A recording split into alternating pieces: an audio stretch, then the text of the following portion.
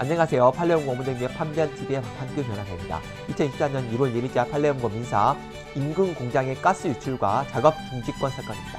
선고일은 2023년 11월 9일이고요. 사건 번호는 2018-288662 판결입니다. 이 사건은 이제 정직 처분 무효 확인이고요. 원고는 근로자, 그리고 피고는 이제 회사죠. 파악이 완성된 사건입니다. 정직 처분 무효가 이긴 사건이죠.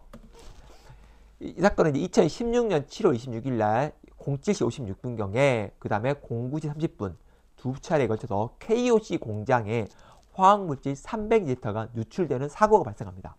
이 화학물질 이 티오비스는 상온 노출 시에 호흡 곤란을 유발시킬 수 있고 피부에 심한 통증과 수축을 유발할 수 있는 물질이었어요.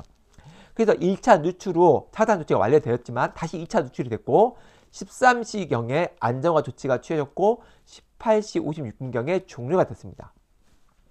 문제는 원고 이 피고 회사 원고가 이제 재직 중이던 피고 회사는 KOC 공장 인근에 있는 보시 전장 회사 소속이고 금속 노조의 지회장이었어요. 그리고 09시 40분경 회사 측에 신속한 조치를 촉구, 해달라는 촉구 공문을 회사 측에 원고가 보낸 겁니다. 그리고 나서 10시경에 근로 감독관이 현장에 나와서 대피를 권유를 했고 10시 46분경에 원고는 소속 조합원 28명을 대피시키고 11시 30분경에는 25명, 11시 50분에는 3명을 작업장에서 모두 대피시켜버립니다. 그런데 회사는 위법한 작업 중지권이라고 해서 원고에 대해서 정직 처분을 하게 되는 거죠. 이 과연 이제 위법한 작업 중지권이 맞냐라는 거죠. 원심은 그게 인정했다는 거 이건 작업 중지할 권한이 없다. 왜냐하면 KOC 공장이 일어나는 거고 인근 작업장에 불과하기 때문에 할 수 없다라는 게 이제 원심의 결정이었죠. 그럼 이렇게 산업재해가 발생한 급박한 위험의 판단을 어떻게 할 거냐? 이, 이 정도도 안 되는 거냐? 이게 문제되는 거죠. 대본은 뭐라 하냐면 티오비스는 독성이 강한 화학 물질이고 소방 당국에서는 반경 1km 이내에 있는 마을 주민에 대해서 대피 방송을 했습니다.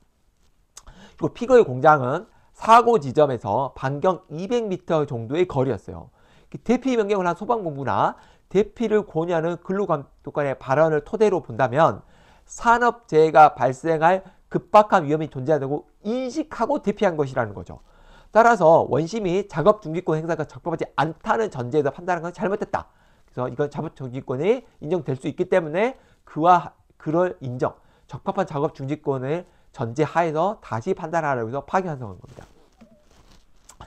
결국 산업재해 발생에 급박한 위험이 발생 시 근로자가 작업을 중지하고 대피할 수 있습니다.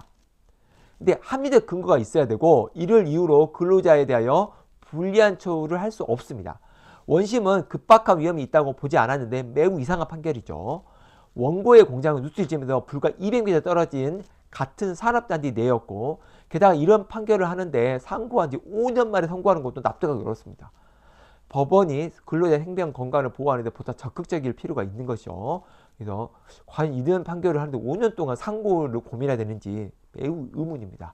어쨌든 이런 판례 있다는 거 꼭 기억해 주시기 좋겠습니다. 이상 마치겠습니다. 감사합니다.